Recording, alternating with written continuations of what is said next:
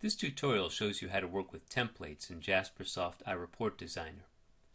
A template is a report that's typically empty of data that's used to assist in the creation of other reports.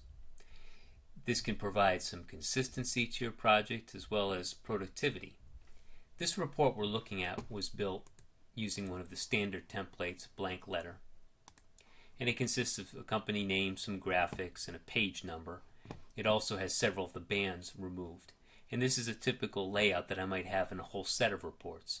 So the benefit of a template is I like to define this once, and for each new report I create, I like to create it based on this image here. Now a few things that I like to do in working with the templates are first to make sure that you can see it using the preview feature. Because we don't have any data, we have to check this when no data option here, make sure that it's set to all sections, no detail. Another thing that I like to do is to make sure that the report name, which defaults to the file name, the file name is simple template using this camel case syntax, but I've given it a report name that's a little more um, in line with the other templates in the wizard. I also like to put a variable in here for the report title and I'll give it an initial value that's going to cue the users into oh, something that they have to provide.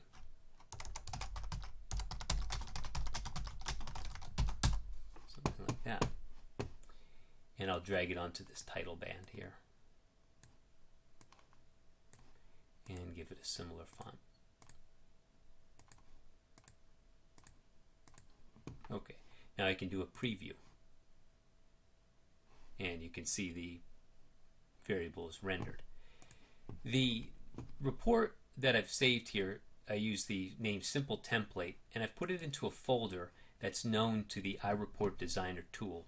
In this case, we go to the wizard templates and we see my folder of Jaspersoft templates. Now I also took a screenshot of this preview and I saved it as a file named simpletemplate.png and that's mapping exactly to the file name of the Jasper report. And that's so that when I go to create a new report, I can see both the more readable name here versus the file name, and I can also see a snapshot. So when we're looking at these thumbnail images, it helps to have a good thumbnail. If you don't provide it, you'll get a question mark here, and it won't be clear uh, unless you can key off of the name exactly the template that you're selecting. Some of the other things to do with the template. Um, because this is going to work with the wizard, you can create several groups here. And I'm going to call these groups very plainly group 1 through 4. And these groups are going to work with the wizard to automatically fill in information if it's available.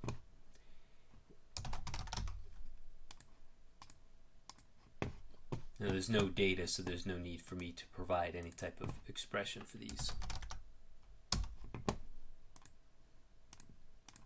And they're created as well.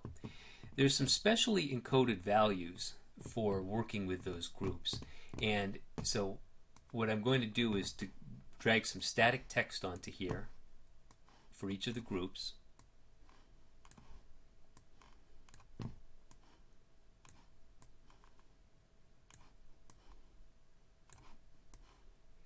And the static text needs to be called G1 through G4 label.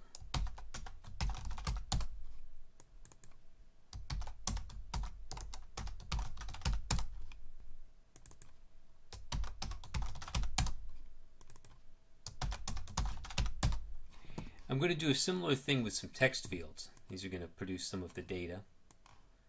It's in there, so I'm going to use four text fields. So you've got the group name in there, and the name could be one of the fields in the group by expression that you're working with, and the field itself that's going to be the actual uh, the actual data that's put in there. So for example, a group of country, the label would be country, and the field would be USA or whatever your, your field is going to be. Now the fields also have to have a particular syntax where they're called G1 field through G4 field. You would typically change this guy to G2. You would typically format these differently because these are different heading levels. But for the purpose of this video, um, my report isn't going to feature any groups. Um, so they're going to be uh, kept formatted similarly to uh, each other. Now, you can do a similar thing with the column headers. And what I do with the column header is I bring in a static text value here. And you have to call that uh, detail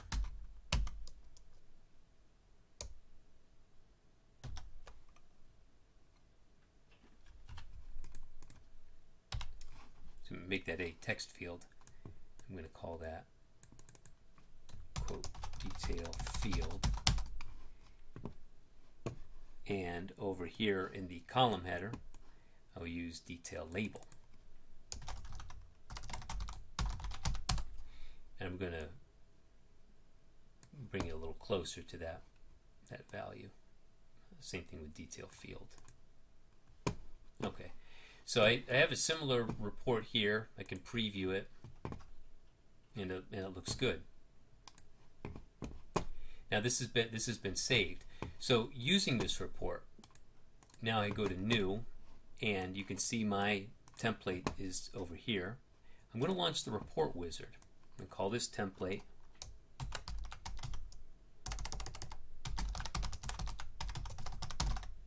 Called simple bonus report. I'm going to dig out a query from my workbench over here. This is displaying some fake employees with a list of bonuses.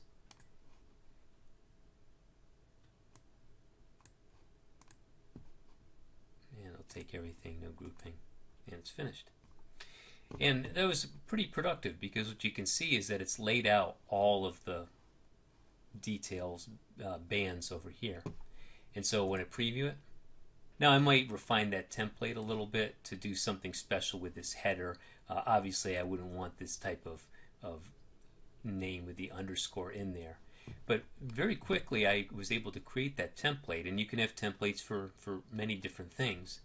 Um, so in terms of productivity, it's quite good. Uh, even better, though, it's the consistency that I don't have to measure out the same type of rectangles or remember to put on something like this page footer. So templates provide you with a really productive way to get things done in Jasper Reports iReport Designer.